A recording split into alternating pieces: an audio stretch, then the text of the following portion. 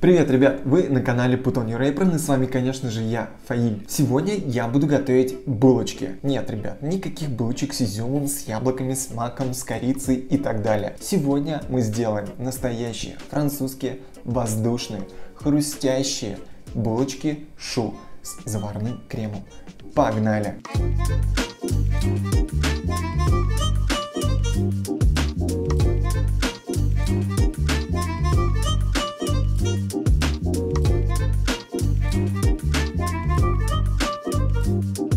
Окей, начнем с кракелина. Да, это та самая хрустяшка сверху булочки. В глубокой миске собираем 100 грамм пшеничной муки, 100 грамм сахара, щепотку соли и перемешиваем для равномерного распределения всех ингредиентов. Далее вводим 80 грамм холодного сливочного масла. Для удобства лучше нарезать его кубиком. И теперь перетираем муку с маслом до тех пор, пока не получим однородную массу, которая легко собирается в один плотный и в то же время рассыпчатый комок теста.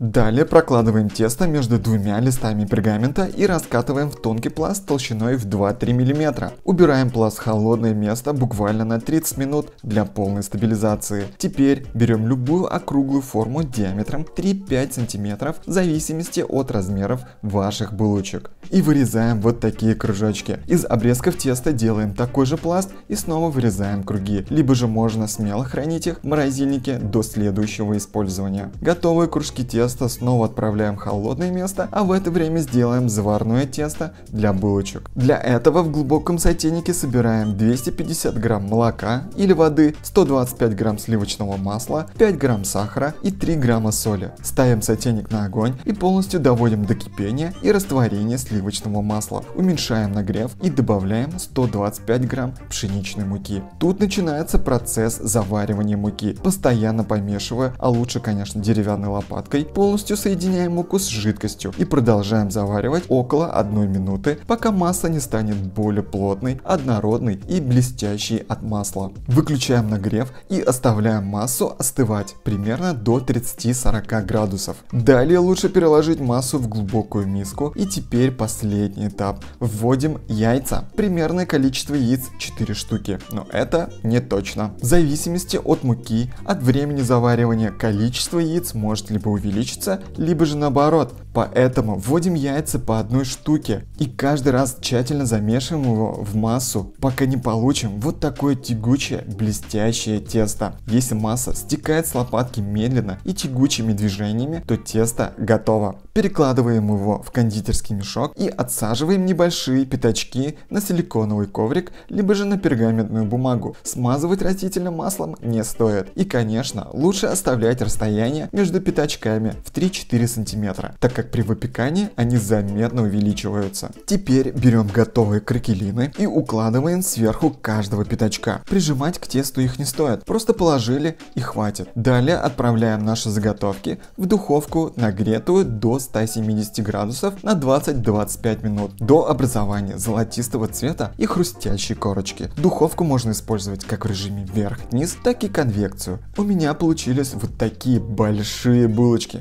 Казалось бы, какими были маленькие пятачки. Так что обязательно контролируйте размер своих булочек. Самое главное, что они классно поднялись, невероятно легкие, хрупкие и очень полые внутри. Оставим их остывать, а в это время сделаем крем. Для начала в сотейник наливаем 250 грамм молока и 100 грамм сливок, хотя можно обойтись просто молоком. Отправляем молоко на плиту и доводим до кипения. А в это время в глубокой миске собираем 3 яичных желтка, 70 грамм сахара, щепотку соли, 20 грамм кукурузного крахмала и ванилин на кончике чайной ложки. Интенсивно взбиваем массу венчиком, пока масса не увеличится вдвое и не побелеет в цвете. Теперь вводим часть горячего молока яичную массу и снова взбиваем до однородности. Переливаем массу обратно в сотейник с молоком и помешивая венчиком доводим до кипения и выключаем нагрев. Параллельно масса начнет очень сильно густеть. В итоге мы получим вот такой классный, глянцевый и очень гладкий заварной крем. Далее вводим в крем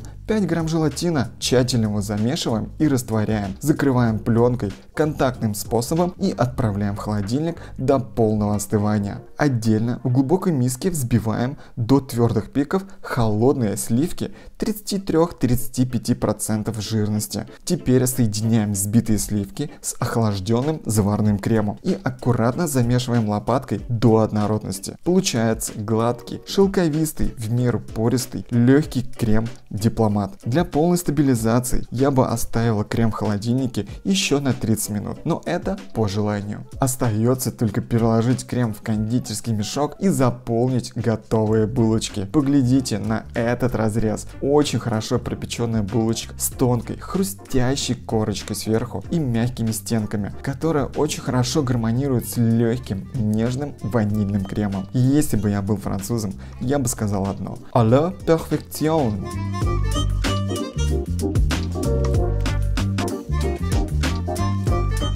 Ребят, просто поглядите на эти булочки. Они нереально крутые, как на вид, так и на вкус. Поэтому готовьте обязательно по этому рецепту и готовьте с удовольствием. Если вам понравился выпуск, ставьте лайки, пишите свои комментарии и, конечно же, подписывайтесь на наш канал, ждите новые выпуски. До встречи!